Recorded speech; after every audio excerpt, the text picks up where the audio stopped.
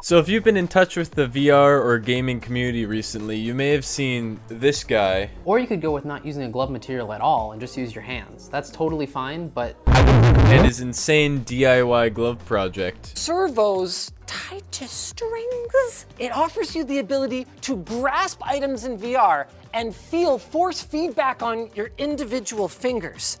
The other thing I have is its creator, Lucas. hello. Lucas, talk to me. Start with why. Is it for things? The first time I discovered this, I instantly knew I was like, man, I want to do this project. This is freaking insane. And it took me a few months. It took me a, it took me a year. And it took me an entire year to actually take initiative and start the project. Um so yeah, this isn't to be like a super in-depth tutorial video or anything. There there are already a few of those out there by Lucas himself and like the Mysticle and stuff. Those videos are super helpful and they helped me during this process. But this video is just kind of meant to like fill in the gaps of what they not really left out, but I don't know, just some just some extra information that might be helpful for people as well as just document how my experience went, I guess. So yeah. A fair warning, if you're like me, your floor might look like this for like the next three weeks. If you're thinking about ever doing this project, I would highly, highly, highly, highly, highly recommend that you join the LucasVR Discord server. And you may be thinking, oh, well, uh, I already have so many Discord servers. I don't need another one just for the project. Join the Discord server anyway. The admins on there are so helpful if you're ever having a problem or anything. And if you don't have a 3D printer like me, which is where you kind of have to start, there is a bunch of people on there that will 3D print parts for you. And I would think that's more reliable than like going to a 3D printing service or something because the people on the Discord actually know what the final product is and what you're making. So it seems more trustworthy to me, except it is also over Discord.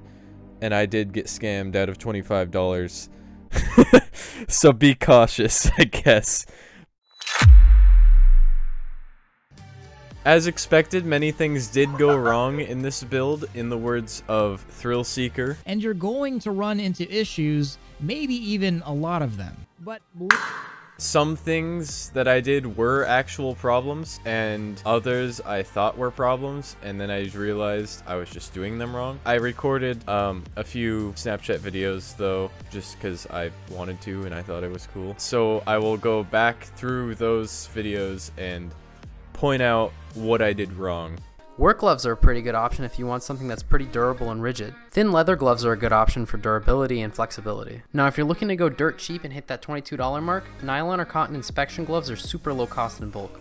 So this is what I went with. I went with this like cotton type glove thing. And I mean, yeah, they're cool they work, but I wouldn't recommend it really because when I put it on, it's like I would assume with a, glove that is not this material, it would be more rigid and I have to like put every end cap in the place instead of just sliding it on. Getting it on isn't too bad, so like, yeah, that's fine and cool now. But getting it off, I have to like each individual finger and then slightly pull it off and hope I don't break anything. I mean, I haven't done this glove yet, but I'm gonna go with this anyways because I want them to match. But if I were to start over and redo this, I would not do that type of glove. The glove itself just barely protects me enough that I don't like start burning my hand when I glue this on. okay, I lied. That kind of hurt. I'm burning a little bit.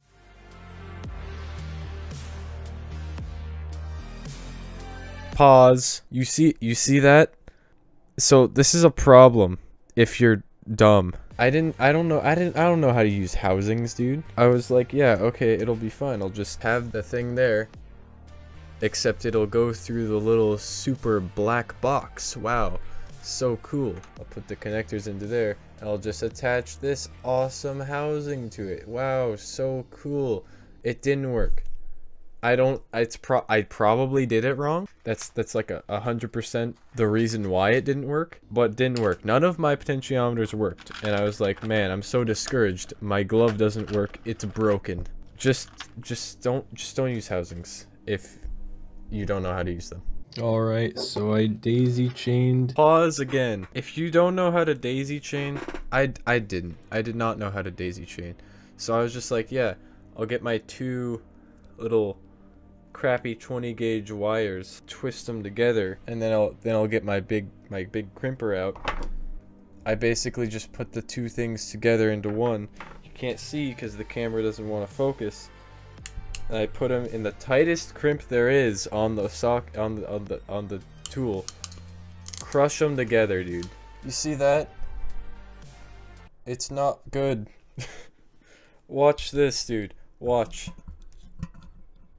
I was hardly any force. And even if you do solder them in, this wire gauge, tw 22 gauge stuff is so small that the the strands can still just like break apart and break off and the covering stuff can also break off and just just break and it's horrible. So my other tip is don't get that wire. Stupid 20 20 gauge or 22 gauge stuff. I don't know what it what it actually is. Get big 18 gauge stuff. Actually, I can't recommend this yet because I I haven't used it. But get bigger wire than this. Just just get everything separately. You can get like the connectors for like $5 on Amazon. You can get a ratchet tool probably for like 10 or 20 dollars and then you can get this nice thick boy 18 gauge wire for 10 20 bucks or whatever. And then it'll be better than the set. You won't have housings but who needs housings? Housings are lame for lame people who are, they're they're cool. Housings are cool. But they're for lame people. Another thing that's kind of important that I don't think they said in these videos is that you should oil your potentiometers. They're a little bit gritty. It's fine if the sound doesn't go away, like when you oil them, but they'll be more loose and and better. Just just oil oil all your potentiometers. So when I was wiring up my glove and I was wiring up all the buttons and uh, thumbstick here, I guess I wired something wrong or I, something something went wrong along the way. So I'd pull my finger down like this, and it would just like start spinning. So it started just spinning me around and around. It was really weird. I'll try spinning. That's a good trick. Uh, and I, I tried, because uh, I thought it, maybe I wired it with like the index finger so that the index finger was triggering like the Y cable or something. So I pulled this because that's all that's actually happening there. It's just this is being pulled and it's reading it on the potentiometer. So I did that and it wouldn't start, it didn't start spinning. Only when I actually pulled this down and then I pulled, like, I tried grabbing the thumbstick module itself and pulling that down, and then started spinning again. So it was really weird, and I still don't know what it was. But basically, I just took the X and Y from the thumbstick, I put them somewhere else on the board where it wouldn't be conflicting, and then I just changed it in the firmware. Don't really know what that was about, but that was a thing. Also, I'm currently struggling with, um, like, calibration values or something is being weird. I'm grabbing things in game. And this was fine before, but now it's getting weird again. I was grab things in game, and if I don't like tilt my hand downwards and do pull more, then it like starts dropping stuff. It's really hard to play Blade and Sorcery because I'm grabbing like swords and stuff, and I try to like swing it at someone, and I just like throw the sword, and I'm like, okay, this is cool. I I still don't know how exactly to fix that, but I'm to try fixing in the firmware because I don't think it's a wiring issue. Another thing I struggled with was this controller mount. So I have a Rift S controller. It's a Quest 2 controller mount, which is a little bit like bigger. So what I did was I just, um, I took the wrist strap thingy and put that through there. And um, now it's a little bit more stable into the ring. But since I mounted the uh, the rigid mount so far back, this was kind of just like flopping around. So you, you can see it in game when I'm testing it here in Boneworks, I'm, like holding the gun out and the controller mount is just like flopping around because the controller is so heavy. And it was before I had this piece of foam here. So it would just wiggle around when I was trying to shoot. It was really not very good.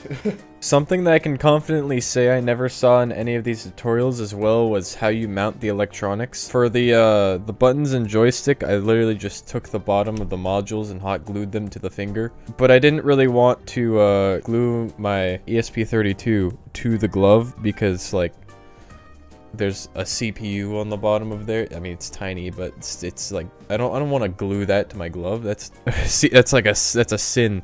You don't you don't glue your CPU to the to cotton like freaking what? What I did, which if you are following my advice, you can't I mean you can do this on other gloves, but it'll be harder. I got a I got a knife and I like poked holes in my glove. I, I safely poked holes in my glove. I got one of these velcro pieces that looks like this.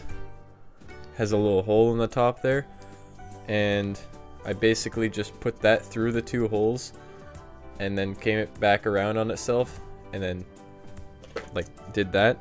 So it's not like a permanent thing I can still get it off. Yeah you see like like that.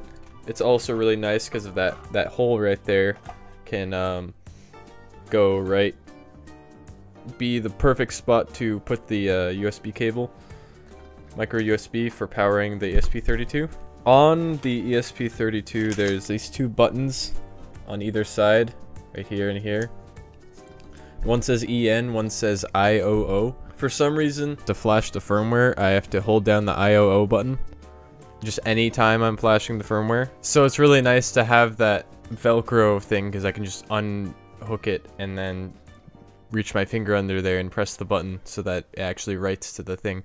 Another thing is that they say it's like a $22 build, but it's only really that price if you don't already have like DIY stuff. So let's go over my Amazon orders and see how much money I've spent on this project. So these portable chargers, it was a two pack, it was like 30 bucks. These two buttons, which are overpriced, I bought two of the two buttons, so there's four. Uh, so that would be 16 bucks. Badge rails, which are $17. The crimping kit, which was $27. The dev boards, which were $15. And the thumbsticks, which were $9. And these freaking five thumbsticks were way less than the four buttons. So that's uh that's cool. Instead of using buttons, I could have just wired up all of these joysticks and used the switches as buttons and it would have been less. Cables that I bought that are long cables because I need them to reach from my pocket, the battery bank in my pocket, that's $10.